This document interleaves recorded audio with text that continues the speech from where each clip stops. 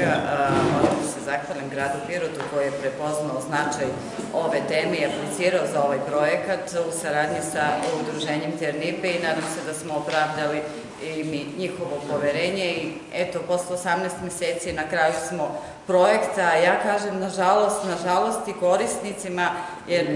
vidjet ćete kasnije u filmu koji je nastao tokom realizacije projekta koliko je ovo bitno, koliko je bitan rani razvoj, koliko je bitna podrška pri učenju, koliko je bitno da se radi na prevenciju diskriminacije. Naime, u okviru projekta smo imali nekoliko komponenti, rani razvoj dece, koji podrazumeva otvaranje centra za rani razvoj, gde smo imali grupu dece od 3 do 5 godina, sa njima su radile facilitatori, sa njihovim roditeljima i imamo veliki obuhvat dece sad u u obrazovnom sistemu, odnosno pri redovnom prečkolskom programu. Što je nama cilj da se deca socijalizuju, da se pripreme i da imamo obuhvat dece pripremnom preškolskom, ali da imamo i veći obuhvat dece u drugim programima pri preškolskoj ustanovi, kao i u celodnevnim boravku.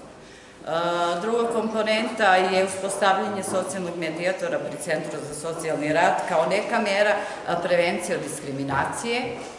jer znate, veliki broj korisnika Roma su upravo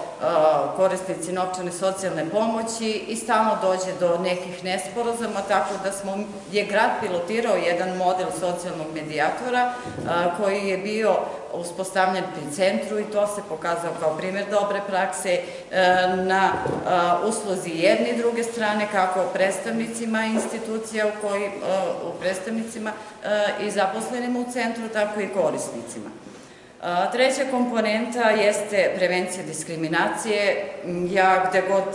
idem je putujem stalno drugim gradovima, kažem da je prosto grad primer dobre prakse, nije da se hvalim, ali tako je. Ovo je grad, pokazuje još jednom da je grad tolerancije, da želi da radi na diskriminaciji, da želi da njegovi građani žive prosto bez diskriminacije, svi zajedno i mi smo imali niz aktivnosti vezano za diskriminaciju, obuke zaposlenih koji direktno rade sa korisnicima, počevo od donosioca odluka do zaposlenih u uslužnom centru, do zaposlenih u drugim institucijama, zaposlenih u osnovnim školama, prečkolskoj ustanovi, ali takođe su prošli jedan deo multikulturalnosti, Te radionice multikulturalnosti su prošli i preko 80 učenika osnovnih škola, svih naših osnovnih škola, tako da smo na taj način približili ovo deci romsku kulturu, romske običaje, istoriju i e, nekako e, smo približili i e, smanjili jaz između romske zajednice i većinske zajednice, jer neće biti diskriminacije ako se jedni druge upoznamo. Kroz ovaj projekat smo pokušali da većinska zajednica i svi oni koji rade sa zaposlenima upoznaju ovo romsku kulturu i običaj. Projekat se završava, ali eto,